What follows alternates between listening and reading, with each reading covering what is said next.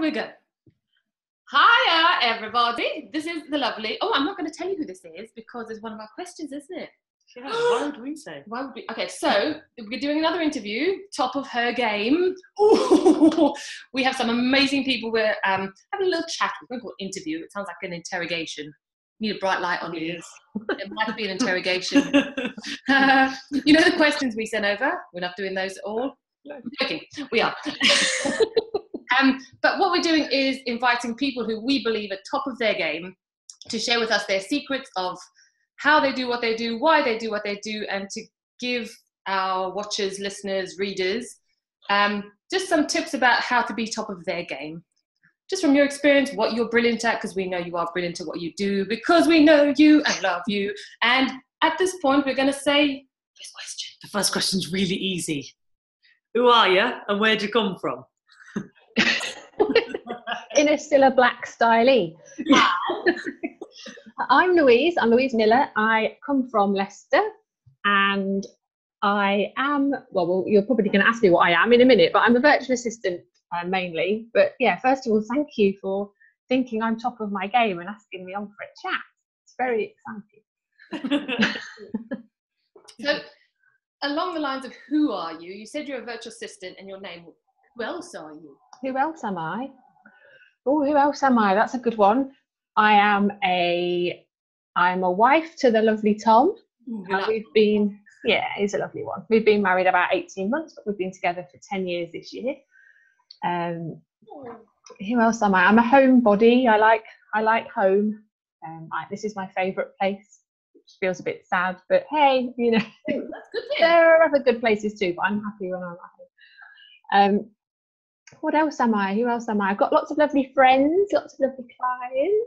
So, yeah, like hanging out with people. That's a really interesting question. Who else am I? So used to answering that question with what you do, aren't you? Which is one of my real bugbears. I hate that what do you do question. But I don't have an answer for it. Chuck it in there. So now all who else? Who am I? Don't make it an existential crisis. yeah, absolutely. Usually,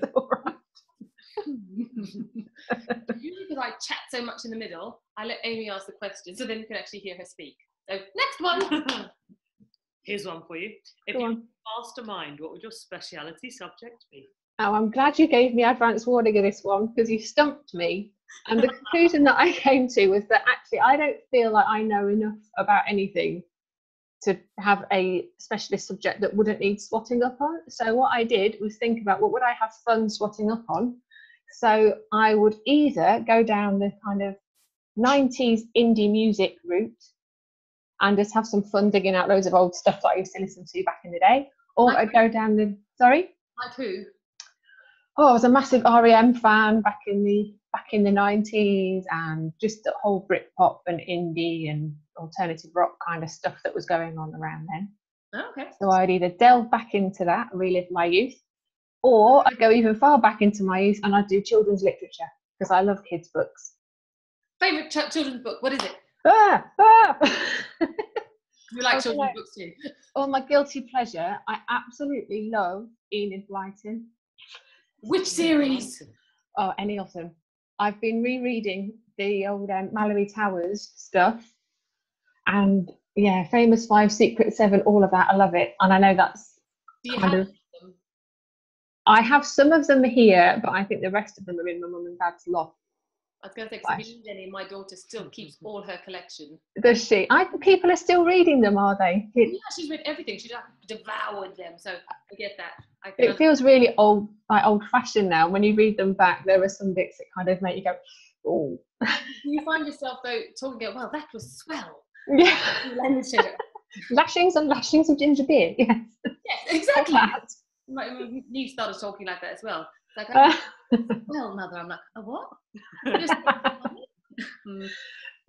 So yeah, I just think it would be fun to go back and immerse myself in either or both of those things to spot up.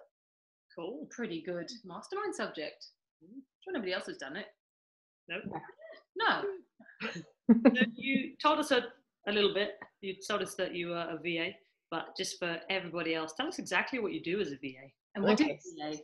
For those who don't know. What's a VA? Oh, okay. Ah, A bar. A bar, yeah. Bar. so I help busy business owners to grow their business by doing more of what they love and less of what they don't. So that basically sums up the impact I think I have as a VA, which stands for virtual assistant. So basically, I take on all the jobs that lots of small um, small business owners really don't enjoy because I found lots of small business people like yourself love all the creative stuff and the ideas and the getting in front of people and all of that, but aren't such big fans of the detail. Although I know Amy, you're a big detail lover too. but um, yeah, so people basically get me in to help with all of that stuff. But as well as that, I'm I'm also just starting um, part of the business where I help people to get stuff done with I keep saying this the wrong way around. I keep saying with more stress and less ease. That's not what I do. with less stress and more ease. So I've got a whole kind of getting stuff done bit of the business which I'm growing at the moment, which is through productivity, sort of online challenge and one-to-one mentoring. Ah, because we okay, the, the great secret is we're interviewing Louise because we use Louise in the best possible way. Um, and we know she is amazing at what she does. And everything Amy and I do, we know what we're good at, and we just go, oh, there's bits of our business that really do stress us out and make us go, oh, I don't want to do this anymore, I hate it. And then we go, Louise, and Louise, I love that bit. I know. We go, eh? we literally created a list of everything we need to do in our business, or that will be part of what we do, and we ticked off what we love, and then we showed Louise the list and everything that we did, and she went, I love those things. And we went, really? so hurrah, match made in heaven. Yeah. Um, so why do you love it? Um, well, first of all, just in response to what you just said, first off, it took me a long time to get to the point where I feel comfortable with admitting that those are the things that I love because, because I've always I've got a creative side to me and I've always kind of felt that I should be this creative person doing I don't know what, but actually that really isn't me. I do that does come out in other parts of my life, but not in my work. And it's only in the last sort of couple of years I've gone, do you know what? I'm going to embrace, I'm going to embrace the happening because that's where my skills lie. So it, it has been an interesting kind of journey getting to that point. But the reason that I love it now is because I get to work with some really amazing people. Another really important thing for me is that I want to feel like I'm making a difference. Um, so I'm quite choosy about who I work with. So I want to make. I know you're very you're very honoured. We snuck in when you were desperate for clients. but I, I feel like I want to be making some kind of an impact. And for example, when I left my job, I was really um, big on the impact of and the importance of looking after people's well-being in a more kind of corporate environment. And I think that is really important because it's so sadly lacking these days. But I toyed with that as an idea and I thought I don't have the skills to actually go out and deliver that. That's not my bag. It's not, I wouldn't find that fun. But what I can do is support other people who are doing that kind of thing. And I have got clients who are doing that kind of thing. Um, and obviously, I love what you guys are about. Um, I've got clients working with kids with anxiety, which I think is another really important thing. There's loads of wonderful things happening, and I feel like I'm contributing in my own little way to helping you go and do your amazing things. So that's why I love what I do. And also the look of relief on people's faces when they're i think because a lot of people they find themselves they hold themselves back a bit in their business because like you say you look at this stuff and you think oh, i really don't want to do that. So you'll put it off and as a result you won't make the progress that you want. So i can really see the palpable sense of relief in people when i take stuff off their hands and then it helps them to move forward as well which gives me a little kind of buzz too Brilliant. Um, and just a little aside there that Louise is very, very creative. Um, even within, we've given her our work to do, and I said, This is our brand. And she kind of just come straight in and put a whole bunch of creativity on top of it. And because she does have that creative side to what she does. So big up for Louise. Whoop, whoop. She Thank you. Yeah, no. And I and I love that again because most of my clients want me to bring that to what I'm doing as well. So it's yeah, it's bringing that into this the other skills that I have with the admin side of things. But yeah, I'm never going to be a painter or you know any of that stuff that I used to think was what I should be doing. Yeah, but you are creating still. Yeah, absolutely. Yeah. Um, me, me, me. No, no, no, no, no, do want to finish that thought? So, if you've got any thoughts as well, you don't just ask questions. Jamie's like, shut up. I was gone now. Okay, go ask question. I don't remember halfway through. Go. So you mentioned about your kind of new bit that you're stepping into with the getting productive um, kind of side of things. Um, what would be three top tips you could give people to get more productive, to be more focused, and to get stuff done? Okay, top three tips. I think something that a lot of people struggle with and that leads to overwhelm and procrastination is having a completely out of control to do list and having about 15 different notebooks and post-it notes all over the fridge and all over the computer and stuck on their heads and stuck on their partner's heads and all over the place. And there's not one single place. Actually i've got cameras in your house right? uh, yeah i think a lot of people from what conversations i've had get quite stressed out by having all of these lists all over the place.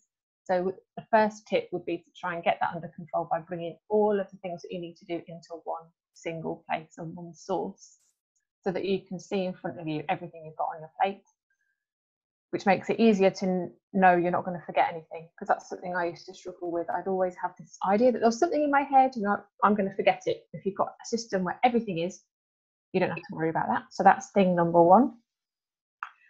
Second tip, which is also related to to do lists, is to differentiate and make sure you're really clear on the difference between a project and a task because I think a lot of people have projects on their to do list, which they then look at, and it feels so huge and overwhelming that they don't ever move forward with it. So, as an example, for instance, some of my clients saying they want to write a book. If they've got write a book on their to do list, that's not going to happen. It's always going to feel too big and too scary. You've never got time to sit down and just, just write a book. Whereas if you broke that down into tasks, so write and you know, decide on the structure as a task, for example, or write 1500 words, whatever. Break it down into tasks, and then that will feel much more manageable and less overwhelming. So that's tip number two differentiate between your projects and your tasks. And the third one is do one thing at a time. Oh, okay, we're leaving the room here. one thing. One thing. Multitasking is a myth, people. it, yeah, it's oh. when you flip between one thing and another, your brain can't keep up and you're losing time because your brain, you're not multitasking, you're switching and you're switching. It might be switching really quickly, but it's, you lose your train of thought with one thing, it takes you longer to come back to it. So I think keep it simple, do one thing at a time rather than trying to do five things at once. Let me put that on my to do list. Hold on.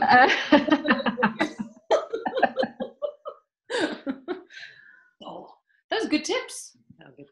Quickly run. Number one was get your to-do list under control. Yeah. Number two was differentiate between projects and tasks. And number three, do one thing at a time. Got that.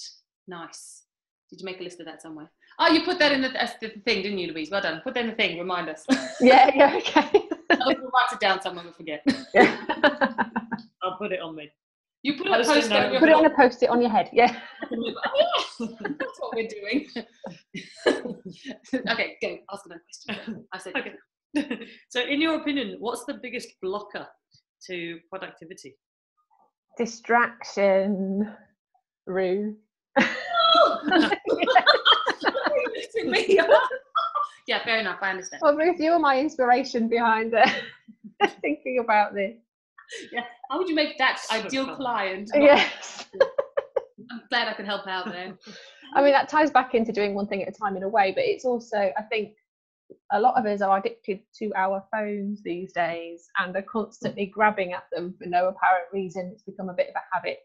Um, and yeah, I think if we feel bored with what we're doing or a bit uncomfortable about it because we don't really understand what we're doing or there's some resistance somewhere, it's really easy to go and look at Facebook or to pick up your phone and see if anything's happened, even though you know nothing's happened because it would beep at you if it had happened. But still, we look at them. or is that just me? And I think it's that distraction and that constant running away from the boredom and the discomfort that can really slow people down. So, what's your top tip for sitting into the boredom and the discomfort? Well, exactly what you just said. Sit with it and notice how you're feeling.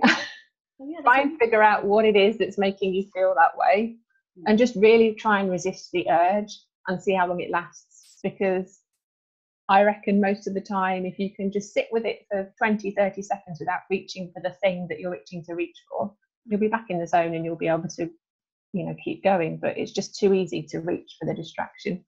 Oh, that's really good. That's like Louise 20 to 30 does. seconds. Yeah, Louise does with uh, productivity what we do with bodies. Because we always tell our clients that we go, It is that thing in your body, stop, listen to it, see where it's coming from, listen to where, and don't push it. Oh my gosh. So that, yeah, I get it now. I get the translation into that. Yeah. Yeah, and I also make a lot of parallels between mindfulness. Well, not parallels, not the right word, but I think there's a link between mindfulness and productivity as well. Because I think if you develop some kind of a mindfulness practice, you're going to notice those distractions bef- before they happen. You'll notice you're about to reach for it rather than reach for it, and then Yeah. ten minutes later go, "Oh crap! I've Yeah. just been looking at water skiing squirrels for the last ten minutes on YouTube." Are they? That's your mission for the morning. Find some water skiing squirrel. Oh no, I'm not helping, am I? That's No. not helpful. You a really good video about somebody, the squirrel whisperer. That was on our Oh. website. I sent that to somebody who's fascinated with squirrels. Oh, she's like that. It's completely distracted. I'll send it. It's funny. Ah. she says, read you for a cup of coffee. but yeah, I think that there's definitely something in just developing a real awareness around what you're doing and being living in the moment rather than reaching, you know, and just quickly going for the quick fix, which is what you know society is built for us to do that these days. People get paid a lot of money to make our apps addictive. So it's really no wonder that we are, I guess. That's true. People get paid a lot of money to make food addictive. It's the same, same. Mm, Ooh. Never thought of it that way. Thanks. you're welcome. Very good. Blimey. We'll pay you double. Yeah. Got witnesses to that now. We're never publishing this ever. So, Louise, when your work is done, how do you like to play? well, first of all, I try very hard. I've been trying very hard since I was, well, no, I haven't been trying hard since I was a child. I've only recently become aware of it. But the whole thing about you're only allowed to play when your work is done, I think we need to be getting rid of that. so I noticed that in the question and thought, oh, it's not necessarily when your work is done because that is my default is, you know, you're brought up, you can only go out and play when you've finished your homework and all of that way of thinking. I know. But I think a lot of us are brought up that way. So I'm trying desperately to play even when the work isn't done because the work's never done. No? No, you never get to a point where you go, finished. no, never. No. Especially being self-employed, you always go, "Oh, I've done that project. Next project." Yeah, yeah, Start absolutely. the next task. You just keep moving on because there's always something to do. So, yeah, yeah. So when I don't want to be working and I want to go and do something else, I don't. I think I said earlier I'm a bit of a homebody, so a lot of the stuff I do for fun is at home and around homey type thing. So this is I was just saying before you pressed record that, and I know this completely contradicts everything I was just saying about multitasking. Because this morning I have been mostly making some bread, which is currently proving. So I like baking is a big thing for me, cooking and I've also I'm making some seat covers, some um, cushions. So I've been sewing this morning as well, and those are the things that I like to do, kind of making stuff and being creative in that kind of a way. Um, I like to do. I'm just looking. I had to write down what I like to do because I. I know. I had to think about it. Um, yeah, I like. I really love music. I love listening to music, and I love bopping around the house. And yeah, this time of year, I like just going out and lying on the grass on a blanket, and that's something I only rediscovered last year because I've always gone sit on a chair, but actually lying on the, on the grass and looking up at the clouds is very cool. So yeah, what I what I've kind of learnt from you guys though, when we were at the um, Elderflower Fields Festival earlier this year, is that I do also like running about like a twat. Sorry, explicit rating on this one. No, we can we like. We do all the time. Ranty sweary is fine. Good, because yeah, I had so much fun on playing rounders and just being outdoors and mucking about outside, and I don't do enough of that. So that's something that I'm really looking to do more of somehow. I'm not quite sure how I'm going to make that happen, but Frolicking, definitely kind of inspired me. Sorry, frolicking is good for your soul. frolicking. Yes, You call it frolicking like a twat is good for your soul. yes, excellent. T-shirt in that. yes, write that down. Put that on the to-do list, Louise. oh, so you give us freedom in taking on our mm-hmm. tasks for us and doing them so well. What's your idea of freedom? This I love this question. I had a really good think about this. I think the obvious answer, which is even though it's obvious, doesn't make it any less true or important, but is having making my own choices around how I'm spending my time. And I think since I went self-employed, that has been huge for me. Is just having this space to do what I want to do when I want to do it, choosing who I work with, and choosing the sort of stuff that I do. I think the less kind of obvious answer, but something that really I find really freeing, is that in the last couple of years, I've really made a conscious effort to step away from the kind of um, societal expectations that you're going to have a job, you're going to have a career, you're going to keep earning more money, you're going to buy a bigger house, you're going to buy a newer car, and you're going to do all of that stuff. And a couple of years ago, I kind of went, well, why? And it just kind of struck me that in order to do all of that, you just need to keep working harder and harder and more and more. And why on earth would you want to do that? And actually, when we moved into the house we're in now, we I thought we'd probably only be here about five years and then we'd get a bigger one. But why do we need a bigger one? It's perfectly fine as it is. I'd rather work at the level I'm working at now, stay where I am, have more freedom to do what I want. And looking at things in that way has been really liberating. And yeah, I've got a big smile on my face, haven't I? it's just, yeah, it really puts a different spin on things when you start thinking about when you buy stuff, you're not buying it with money, you're buying it with your time. Um, and I've done a lot of simplifying and decluttering and slowing down and stuff over the last couple of years. It's really shifted my perspective on all of that. And I think, yeah, that's been hugely freeing for me. Nice. Mm. That's very cool. Yeah. Your freedom choices. Well done. okay, so you mentioned that, mentioned that. So our three kind of words around our business to everything we put out and everything we do is freedom, connection, and energy. You mentioned the freedom of choosing what you do, why you do it, and the connection of the, wanting to work with the people you work with. What about your energy? Where do you get your energy from? Well, as as an introvert, I kind of my energy supplies are replenished from having quiet time so I need to have time on my own and time just chilling out. That's where I get my energy from. But I also feel energized when, yeah, I really, when I connect with the kind of playfulness and just generally being daftness, that, yeah, comes out from time to time. That energizes me. Um, uh, yeah, and I love being. I do love being outdoors. I I try and get out for walks as much as I can. We're really lucky. We live quite close to the countryside where we are, so being outdoors and especially on a lovely day like this, that gives me this kind of glow of energy and loveliness, which is always good. And then, but also bouncing off people like you and all my other clients, I find I love that all the energy that I get from being involved with making stuff happen for you guys. Cool. Well, this is the point where I'm going to do a massive appreciation for you, Louise. Hmm. Your just that sense of awareness of yourself and what you want. That obviously you have grown by working on it and realizing certain things and shifting your life. And appreciate that not only have you discovered that for yourself, but you're sharing that with the world in what you do and how you do it and why you do it.